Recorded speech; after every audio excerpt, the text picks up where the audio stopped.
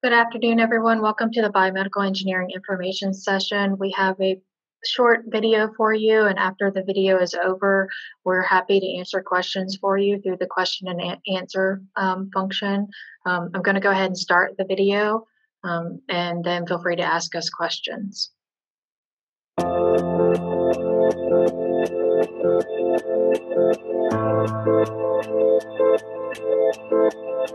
I think that the um, advantage of having a biomedical engineering undergraduate degree is that it is, number one, distinct from other engineering majors.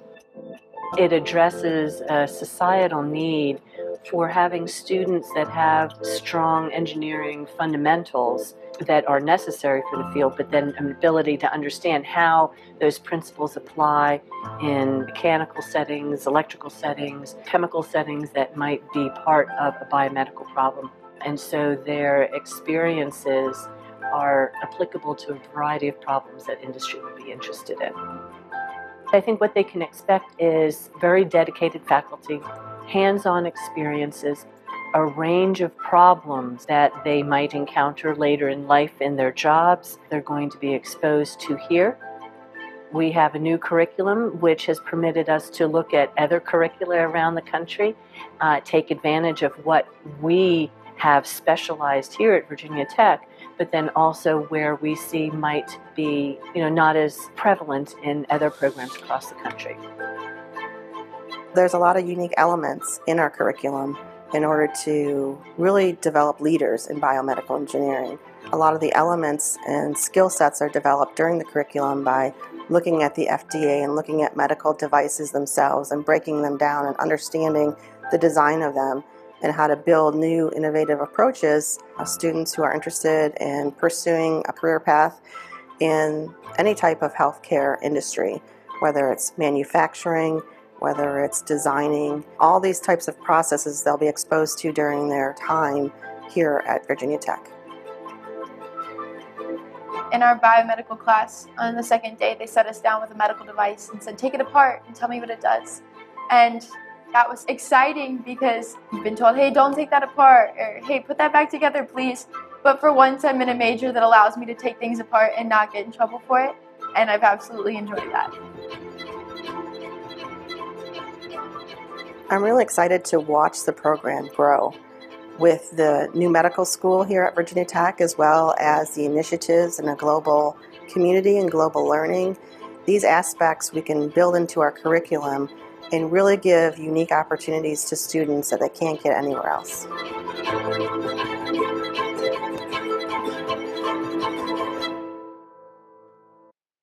So my name is Amanda Sandridge, and I'm the undergraduate academic advisor for the department. And like I said, we're happy to answer any questions that you have for us. Um, I have others from the department joining me here, um, and we're happy to answer any questions that you may have. Um, real quick, we're gonna the rest of us are gonna introduce ourselves. Um, I'm Dr. Sarah Arena. I'm a collegiate associate professor in the biomedical engineering mechanics department. Um, I teach the Introduction to BME course, uh, which is the first um, course within uh, the BME curriculum, um, as well as I teach upper level electives in biomechanics of human movement. Um, let's see, we'll have Leah go next. Hi everyone, I'm Leah Thomas. I'm a junior in BME. Um, I really love this major. I have some experience working in the assistive robotics lab through the mechanical engineering department, so that's kind of where my interests lie. Um, yeah, I'm happy to answer any questions that you might have about research, um, BME in general, just anything. Um, I can introduce myself. I'm Clara. I'm a junior in biomedical engineering also. Um, I saw a question about minors, so I guess I'll say I'm a German minor, which I really enjoy. Um, I'm personally interested in looking at like sports biomechanics, and I'm currently in a design class that's working on a knee brace, which is really cool and fun. Hey guys, I'm Meredith. I'm a junior biomedical engineering student, and um, I got into the program freshman year. So let me know if you have any questions. I'm happy to answer, and I'm currently trying to answer your questions in the question and answer. So I'm going to answer um, one of the first questions. It says how many people are in the department. So there seem to be um, quite a few questions about that. Um, so our degree was newly approved in the fall of 2018, um, and since it's a new degree option here at Virginia Tech and the College of Engineering, um, we slowly accepted students into the program. And the students you see here with us um, are part of the very first year of students that were accepted into the program. And that very first year, we accepted 40 students. Um, the second year, we accepted 60 students, and in the spring semester, we'll be accepting 80 students into the program. Oh, Another question that I see um, is uh, when you declare um, a major in biomedical engineering. Um, so, in the College of Engineering, all students enter um, their degree granting programs at the end of their freshman year. Um, so when you finish your first year coursework, you're able to declare um, into a degree grading program. Um, and so that gives you the opportunity to go ahead um, and declare into the programs. And that's when you're able to, to do so. and Amanda, a similar question that came in was, um, uh, not, uh, sorry if I missed this. How many students are in the major versus um, faculty? Okay, so our, our in our very first um, our current juniors we have 40 um, and our current sophomores we have 60 um, and those are our first um, our only cohorts currently Um, what are the common minors for biomedical engineers? Um, so so far um, the common minors it, are kind of all over the place. Um, we don't have like a commonality um, amongst our students. It really is dependent on what, upon what students are interested in. Um, we have some students that are doing things with public health um, also students that are doing things with things like psychology and sociology.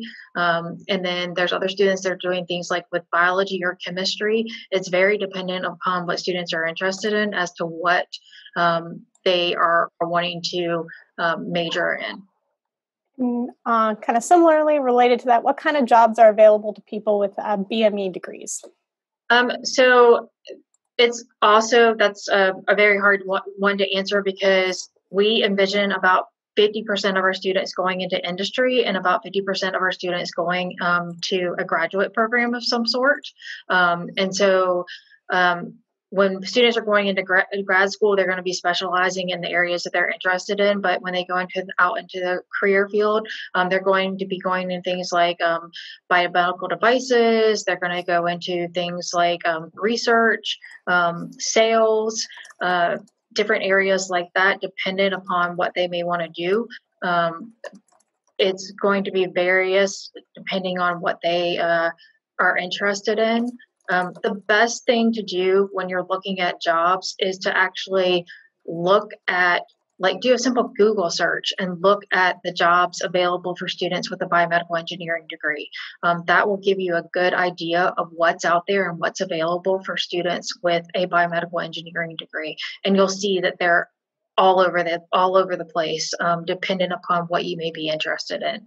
And I think there's a great question here for our students to answer. Um, what made you choose to be a part of the BME program at Virginia Tech? Um, yeah, I can answer that. I think BME is a really cool program because it really it's like the intersection between healthcare and engineering. So you get the design aspects of engineering and that teamwork, um, creativity that I love, but you're also working directly in healthcare and have the ability to impact people's lives. And that's really what motivates me, just like knowing that what the work that I'm doing um, will be helping other people.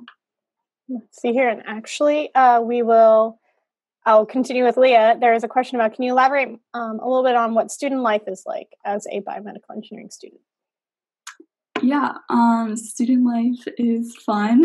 Um, I really enjoy the major because it's smaller, so it's given a lot of opportunities to get to know each other as well as the faculty. Um, there, there are a lot of opportunities for research as well. Um, and like for my example, I'm kind of working in the mechanical engineering department, so you don't have to stick with BME specifically if you'd like to like work with other departments too. Um, there's a lot of room for that, as well as interdisciplinary work. That's something that I've been really interested in, and um, yeah, I don't know. Does that answer the question? Hopefully. Um, so I see yeah. a question. It says, um, how many people applied to the BME program last year? We mm-hmm. had mm-hmm. about 125 students apply for the 60 available spaces in the department. Um, so um, that's the answer to that question.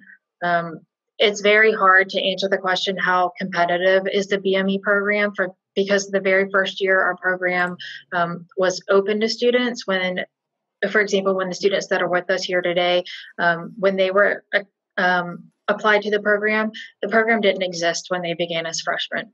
Um, so they didn't know biomedical engineering was going to be available to them when they started at, at Virginia Tech. Um, so it's very it they didn't. they had no idea that this was going to be a degree option available available to them. Um, and then the second year um, which was this past year this past spring when students applied um, corona actually really impacted our application process um, and really m- messed things up. Um, so it's really hard to answer um, how competitive it is because of that. It, it, so i don't have a very good answer for that and i wish i did and one of our other questions that's gotten a few uh, likes is uh, Are you able to minor in BME or is it only a major? Um, yes, you can minor in BME. Um, the minor is 18 credit hours and it involves um, the Intro to BME course, a medical physiology course, um, two uh, BME elective courses, and then six credit hours of undergraduate research or a senior design project um, that has a BME focus you're a transfer student, do you have to wait a semester or do you declare immediately? Um, so everybody that applies to the College of Engineering comes in as a general engineering major um, when they apply to Virginia Tech, um, and it's the same for transfer students. Um, transfer students have to complete at least 12 credit hours at Virginia Tech with an A through F grade um, and complete that first year coursework before they can apply to a degree granting major. What are some of the internship opportunities for BME? Um, so there are a wide variety of internships available. Um, we get um, internships uh, all the time from many different companies, and a lot of those internships um, are coming from small scale companies, large scale companies. And when we get those um, offers from those companies, what we do is we send it out over our undergraduate listserv. Um, the students can chime in and say how often um, they get emails from me with those opportunities, probably more than they'd like. Um, but they um, get a lot of opportunities via e- um, email. Um, we also get a lot of opportunities for research at other institutions um, that are over the summer that would allow the students to go to other institutions and do research. Um, and so that gives them the opportunity to, to also look at things besides just doing internship, but also research, especially if they're inter- interested in going to a graduate program elsewhere. And I'll add a little bit to that. We also have um, someone who's on staff whose um, whose job is related to uh, external and alumni relations. So building relationships with companies, um, both small and large companies, to have dedicated co-ops and internships uh, and so forth for our students. So that is another avenue that uh, is in development. Let's see. Um, what type of coursework do you do in high school? Or did you do in high school? This is for the students, sorry. I was actually just answering that in text, but okay. I can just say it over um, video. So for me personally, I think it's actually most helpful if you're able to get as strong of a foundation in like calculus and physics as possible, just because those are two courses that just take time to really develop. Like I personally only took physics in high school my freshman year, so it just took me a little bit more work to kind of catch up. But I will also say that there's no amount of coursework in high school that I don't think is like over you're you're not able to overcome once you get to college. It just sometimes takes more work once you get here. I think also it's pretty valuable in high school to just take a little bit of time kind of understanding what your interests are and what you may be interested in exploring once you get to college because that can kind of help you set things up the long run. But also I think that you don't need to put a ton of pressure on yourself to really try to get ahead right now. Yeah, kind of echoing what she just said. I definitely agree with everything she said. Um, um, also, physics is like a huge part of this program. Like it's kind of mechanics based. So if you do have a strong foundation in physics, that will help you. Again, you don't have to like put pressure on yourself if you haven't taken AP Physics or IB or whatever. Um, you can catch up in college, but I think getting that earlier on might be helpful. Let me see. Um, kind of a related question. Did y'all um, talk about any recommendations of classes that you think were eh, helpful for freshman year and beyond in your BME? Like from high school or in? From high school, I think it said, yes, high in high school. I just think definitely if you have like an, a more advanced physics option to take it. Um, I personally did have an advanced physics option and I didn't take it because I did not plan on being an engineer, and I definitely had to catch up my freshman year for that. And if you do have like calculus options, anything that you can take to kind of get credit for classes going in and not have to take Calc 1 or Calc 2 would be helpful. Um, but again, I, I do like to like note with everything that you shouldn't feel stressed if you don't have those things because it's really not the end of the world yeah, also going off of that, like I didn't take AP Bio in high school either. So honestly, I didn't have like as strong of a bio foundation. But I think the fact that I took AP Physics instead actually came in favor for me. Um, so I don't know if Claire took AP Bio or not, but um, yeah. Yeah, I took IB Bio, and that definitely helped. And I also say that I had a pretty solid foundation in chemistry, which I thought helped a lot, especially in my bio learning just because I think a lot of those concepts do help build intuition.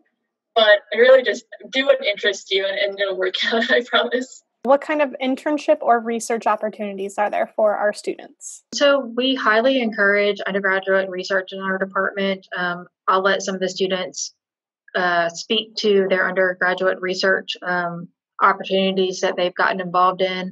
Um, but we also highly encourage um, internship opportunities. Um, we get internship opportunities quite often from um, different companies, both small scale companies and large scale co- scale companies. Um, we get those directly by email a lot of times. We get companies who come to campus and recruit students. Um, and so those opportunities are primarily advertised to, to, to the students through our undergraduate listserv. Um, but I'll let the students speak to their research experience so far. I know, I think Leah has some undergrad research um, experience herself. Yeah, so I've been working in the assistive robotics lab, and we're creating a device to help patients with cerebral palsy eat by themselves. So, it'll kind of like stabilize their motions that they can use different utensils.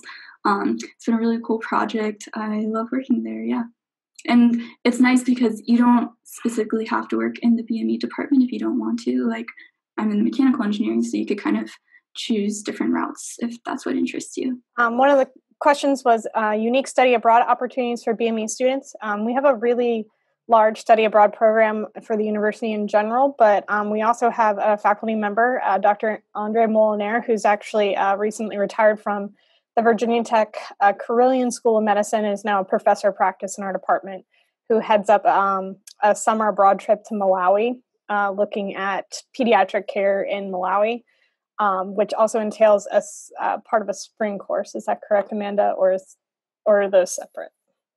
Um, Everything's yeah, over the summer. Yeah, Sometimes it's over the summer. Yeah, it's over the summer it, primarily. Mm-hmm. There's also a question about um, prosthetics and have we had anyone working in this field? Um, uh, so we don't have anyone specifically in prosthetics, but we have a lot who kind of do collaborations on prosthetics. Um, so, for example, there is um, the project I think Leah said that she was working on, but it's more considered an exoskeleton than a prosthetic. Um, so, exoskeletons are uh, devices that um, are integrated into somebody that kind of assists them to do a movement as opposed to completely replacing the limb or so forth. Let's see, our next question is about um, programs um, in cancer research. So that's actually one of the other large areas that our department covers. We have several um, researchers who are involved in various aspects of cancer research and cancer therapy research um, of which we already have a lot of students in our first cohort who are participating in research with those professors. Um, we also have um, some courses specifically designed um, around cancer um, that we um, are in, in, designing currently that will be uh, added to the curriculum. so that's kind of exciting because we have that those faculty that have those areas of ex- expertise that will be offering those courses, um, and they will be added to the curriculum shortly. let's see, I guess our other question is um, what are the average range of starting salaries for BME students? Um, it's a little bit difficult to answer because of um, especially geolocation is a, big factor in starting salary. So, for example, if you are out in a for example, a startup or working with someone out in California, your starting salary will naturally be much higher because of location. Um, but I would say that biomedical engineering, when you compare to other engineering, um, we are either at that average or above. Uh, a, a, good thing to do is do a Google search um, and look at uh, the different jobs that are available with a four year degree, um, especially um, because historically a master's degree has been required for a lot of jobs um, for biomedical engineering, but recently in the last um, five to 10 years, you can get a job with a biomedical engineering degree. So, a good thing to do is look, um, do a a, a, Google search and look at the different jobs um, and look at the salary range. That'll give you a good idea of the different companies, um, the small scale, large scale, um, and the salaries of those companies. And I think that also goes along with our next question: What companies recruit for BME students? Um, I think there's a lot. There's a lot of small um, startup companies that are into device development. Um, and there's actually a few within the Blacksburg uh, area that uh, do that, as well as the large companies like Johnson and Johnson, Nike, um, WL Gore, um, and so and things like that. So I see this question um, about will there be a counselor to guide me on what to do after college as far as career. Um, Virginia Tech has a, an entire career services um, on campus that do all kinds of things like help with resumes, um, help with um, helping you with interviews, um, and uh, applying to jobs and all those different things. So it's an entire field office that's dedicated to helping you with that career search.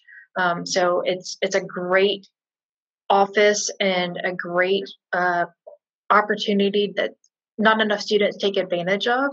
Um, and it's definitely something that you can take advantage of and utilize while you're here. Um, it's also available after you graduate too.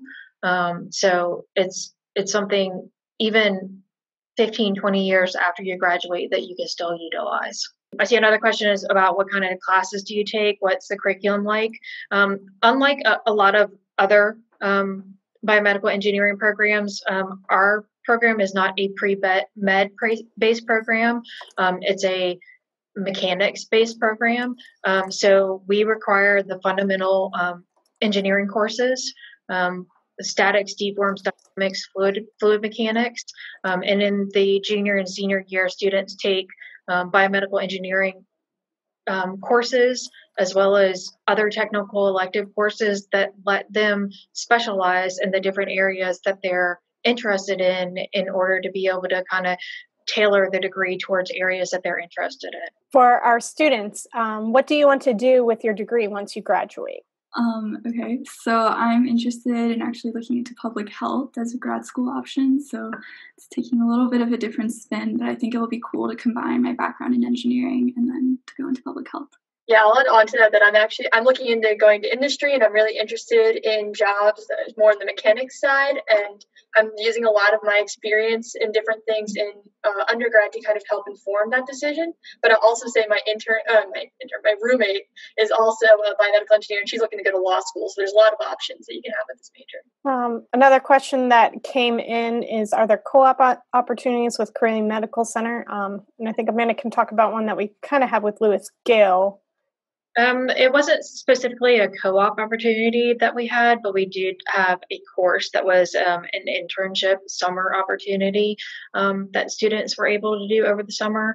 Um, we're in the process of developing co-op and um, internship opportunities. We actually have somebody specifically um, in our department that does external relations and internships. Um, and she is working hard on developing those internship and co op opportunities for our students. Um, so, not directly um, with the Carilion Medical Center, um, we do have some um, from Carilion, that reach out to us um, specifically looking for somebody that may want to work for 10 to 20 hours a week, um, but that's not a full co op experience. Um, so that's the, the big difference. there is also um, an innovations group uh, at Carilion Medical Center, which is in charge of finding needs of clinicians um, at uh, Medical Center. And currently, one of our professors of practice who recently retired from Carilion um, is involved in that group, and we're working towards having um, our students kind of directly involved in that in that program. Um, what is the difference between biomedical engineering and biological systems? So, biomedical engineering is more of the human approach um, to engineering, and biological systems is more of the cell, cell and molecular approach. Um, they do a lot of water and soil conservation, um, a lot more biology, um, and we're much more of a mechanics human aspect. Biological systems is not going to give you the human aspect. Um, and it's not as heavily mechanics based as what our program is. Um, I don't know if one of the students would like to speak as to whether they were looking at biological systems versus BME. Um, I don't know if, if anybody was, um, but that's the major dis- difference. Um, and also uh, biological systems has a lot of uh, an agricultural um, side to it as well. I think Amanda's point about the biomechanics or the mechanics side of our major is a really valuable one because I I'm not exactly sure about Leah. but I know for a fact that um, Meredith and I both probably would have gone mechanical if we didn't have the biomedical option. And um, I think that's because of that, like designing for devices and mechanics that we were interested in rather than the biology necessary side yeah, that was the same thing for me. And kind of going off of that, like the first two years of the program is very focused on like the physics. So I think it was mentioned earlier, but we take like dynamics and statics. Um, so you get a strong foundation in physics more so than a lot of exposure to biology, if that makes sense. And I guess I will also take this opportunity to say that there is also um, availability outside of mechanics if that is your interest in BME. So, for example, we have a very large um, base in cancer engineering, so cancer treatment, um, identifying mechanisms of uh, cancerous growth, and so forth, as well as device development um, and other areas of, of tissue engineering. Yeah, we're actually all in a cell engineering lab this semester where we're learning the basics of all of that too. So that's kind of integrated into the curriculum as well. Thank you for joining us. Um, we hope you learned something. Um, and free to re- feel free to reach out with me to me for any questions. Um, but enjoy your afternoon. Bye. Bye.